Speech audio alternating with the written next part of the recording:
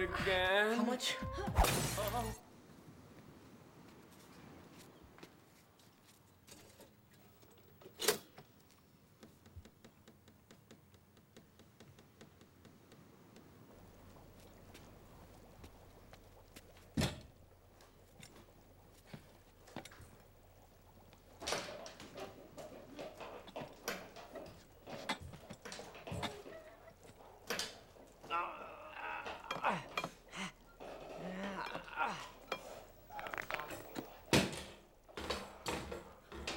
Great.